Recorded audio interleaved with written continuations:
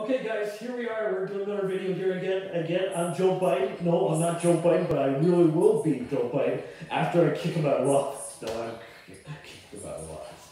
Anyway, I'm here doing a speech. I'm going to do like a Joe Biden kind of a speech. I'm going to say, uh, oh no, I'm serious. I'm serious. I'm just going to say like Joe Biden says it. I'm serious. I'm serious. You, it's, uh, it's the gun issues. It's the gun issues. We got to take away from the gun issues. Yes, that's the speech I'm going to make.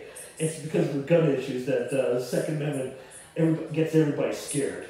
Um, because the Second Amendment. That's why the Americans have it so easy, and we're gonna we're gonna really really uh, take away the people who have guns. We're gonna take away from mental issues, the mental issues. Yes, we're talking about the mental issues. Uh, sincerely, and uh, people with mental issues should go get them checked out.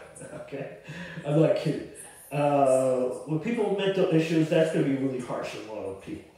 Um, it's uh, it's uh, they're basically basically if they have mental issues, they should go get it checked out. I mean, in a sincere way, in a nice way. Um, so if people do have mental issues, they should go check it out. Uh, I'm Joe Biden, and I'm the president of the United States. And uh, I know I'm serious. I'm serious. I'm, I'm saying to the American people, I'm serious. Like I'm really serious. Okay, so uh, just remember, I'm Joe Biden and you're not.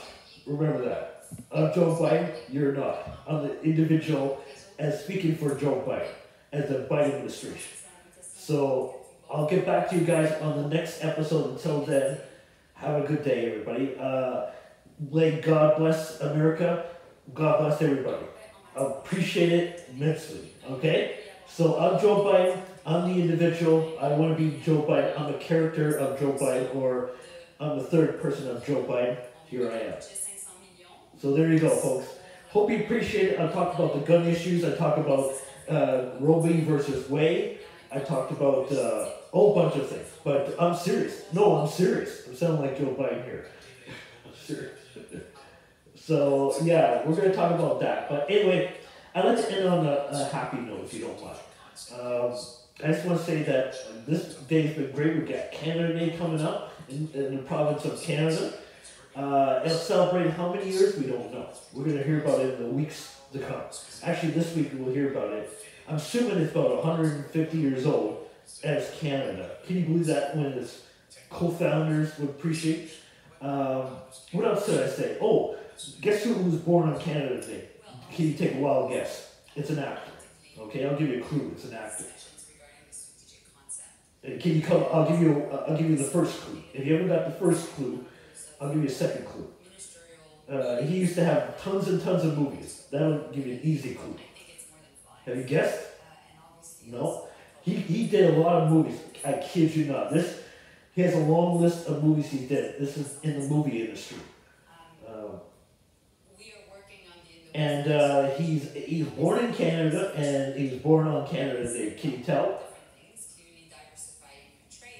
He goes by the name of Dan Aykroyd. Yes. The Dan Aykroyd, the actor, Dan Aykroyd, was born on Ju July 1st. You can double check that.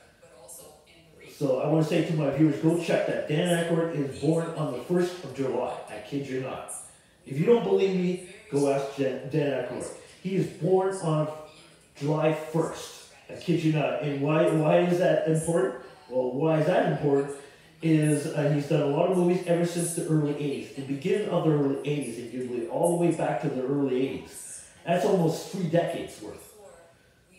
Uh, and here we are, years and years later. Dan Aykroyd did many films. It, it can run, range from A to Z, from every film he's done.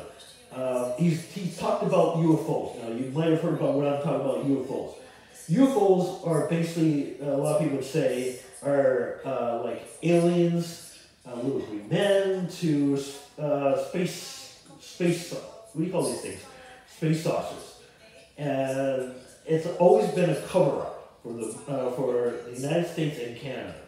And NASA, NASA is a big component of this. NASA is, uh, uh, the thing I'm talking about, NASA, is a space agency. It, it's what you call, they built rockets, they built a lot of space things, a lot of space things everything to do with space. You know, like uh, uh, inner space. You know, like um, I'll give you a better example. Um, they talk about weightless. I think the word was called weightless. Uh, so it's five Gs. Five Gs would be weightless. Uh,